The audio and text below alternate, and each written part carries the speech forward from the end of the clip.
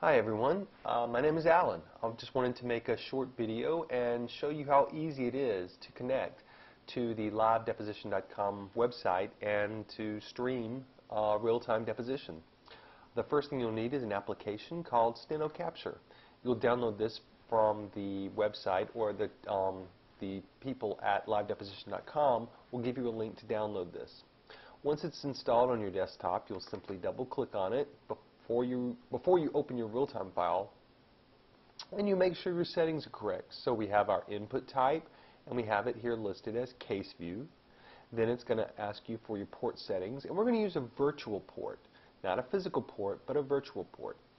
Um, our baud rate is 2400 and we're going to press connect.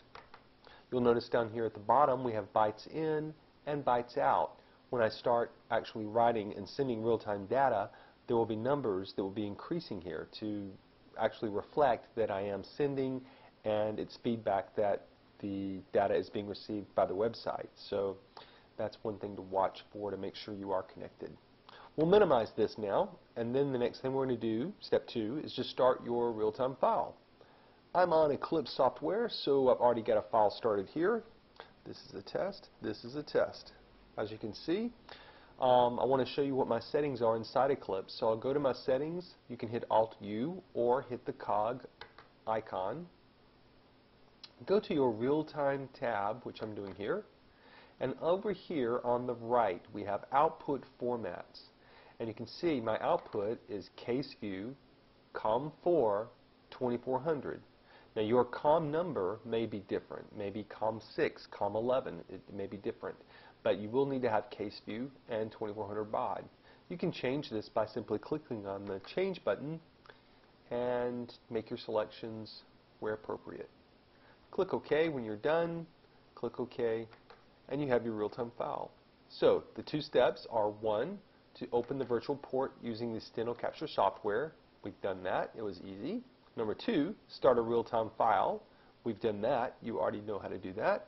So now that we're streaming, let's go ahead and see what it looks like on the website. So I'm going to open up my Internet Explorer, my browser.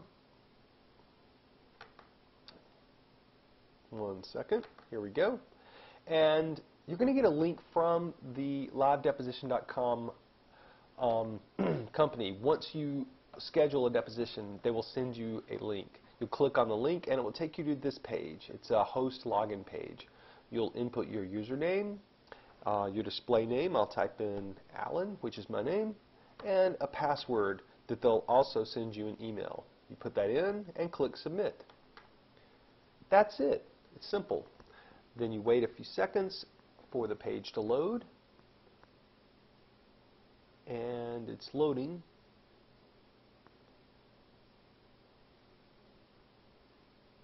And here we go. Okay, it's asking for the Adobe Flash Player settings. I'm going to click Allow. And we're set. This is the welcome screen. You get this flash welcome to the deposition message. Um, you can hide it if you want. Uh, it will go away in a few minutes. The main part of the screen where I'm pointing now is your transcript area. Once I start writing, you will see text streaming here.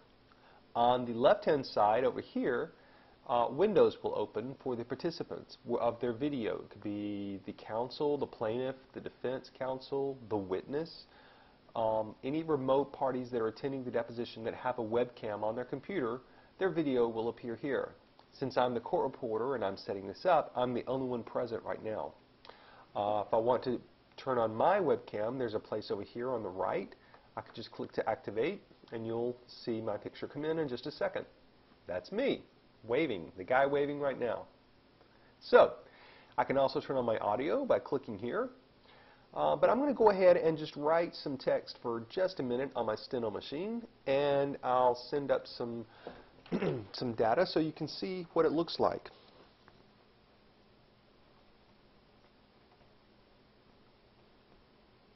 Ah, the first thing we need to do is click on Connect. There we go. Now, the text will start streaming.